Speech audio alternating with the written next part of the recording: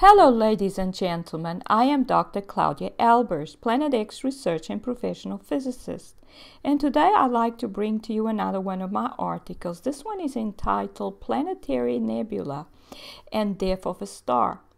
Now, according to the accepted astrophysical theory, a star forms a planetary nebula when it dies. The planetary nebula is of ionized gas around the star. There are many examples of these planetary nebula which can be observed from Earth, resulting in many amazing photographs existing of these uh, objects in space. And we can see some of these images. Now, there's always a star at the center of the planetary nebula or cloud, which often exhibits a ring or toroidal shape, as we can see here, this ring structure or we could say it's toroidal in shape. And um, this one here is called the Ring Nebula, or it's also referred to as M57. And this one is called Helix Planetary Nebula, or N NGC 7293. So they are characterized by a star at the center and then a cloud of gases uh, which form uh, in this ring or toroidal pattern, although not always. Sometimes we have some other patterns, um, but it's always is centered on the star. Now we know that the gas forming the beautiful ring patterns is ionized because they obviously emit light. According to accepted theory, a star dies when its nuclear fuel, which powers the nuclear fusions in its core, runs out. Since it is supposed to be nuclear fusion explosions that keep a star from imploding as a result of gravity, once the star runs out of fuel, it contracts and releases its outer layers, which then become the nebula cloud around what is left of the original star.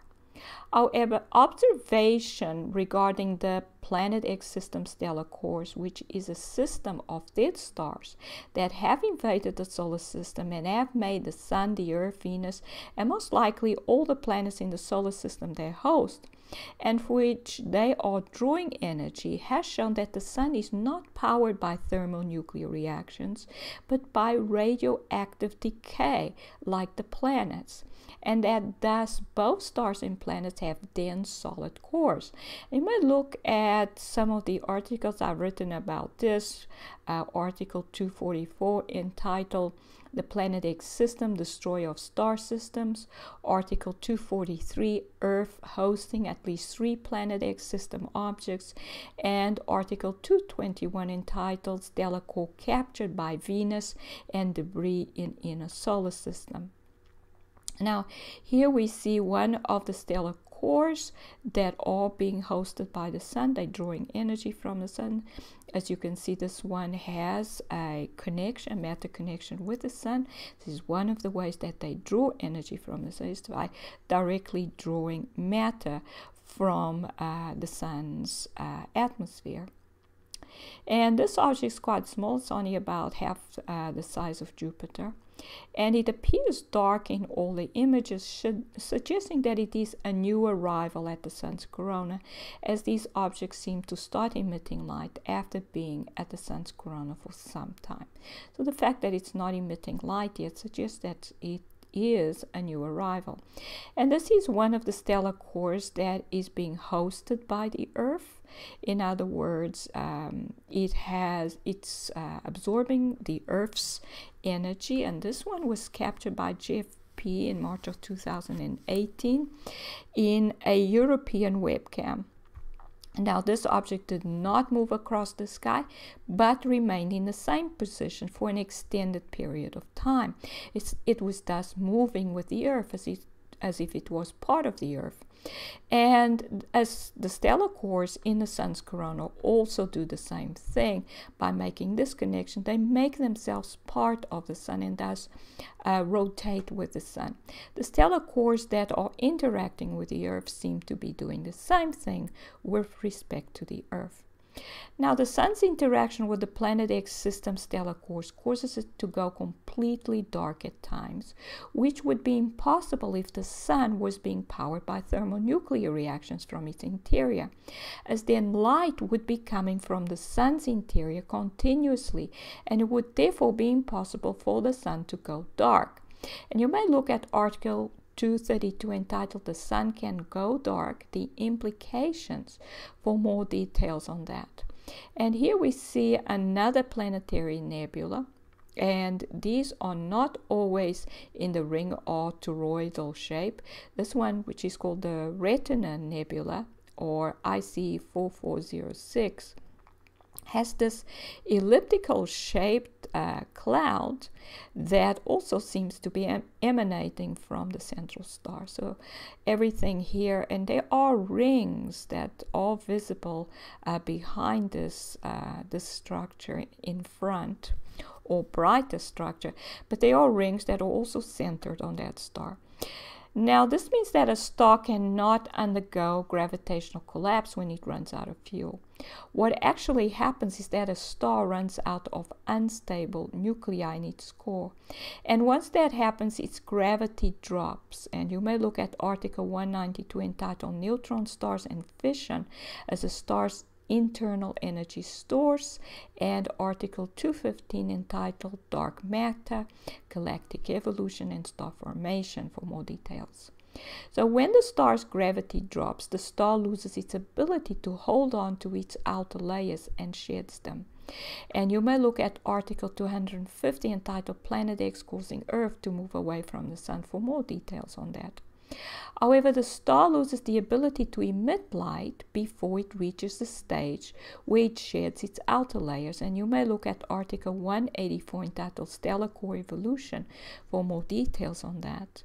This is because the star's gravitational energy or the energy generated through radioactive decay is tied to the electrical potential difference between the star's positively charged inner core and its negative outer layers, which then gives rise to electrical discharges or lightning, which in turn give rise to the star's light emission it would thus be impossible for a star to turn into a planetary nebula, which obviously emits a lot of light, uh, both from uh, the central star and from the cloud of gas.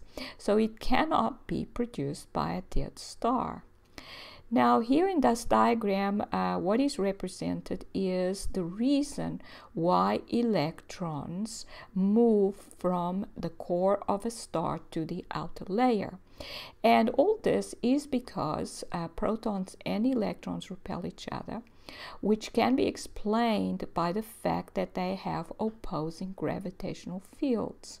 It is uh, the gravitational interaction that causes therefore the electron to move away from the protons.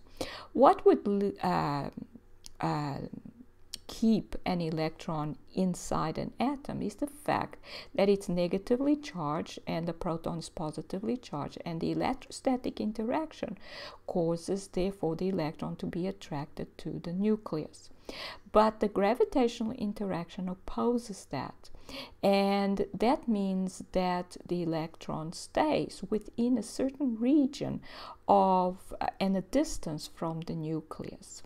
It's balanced by the two forces. The electrostatic pulls it towards the nucleus, and the gravitational, which is a repelling force, uh, pushes it out of the nucleus. So it stays within a certain region a certain distance from the nucleus. But when um, there is enough energy in the particles uh, of a celestial object, then all the protons and the electrons will have a stronger repelling force between them.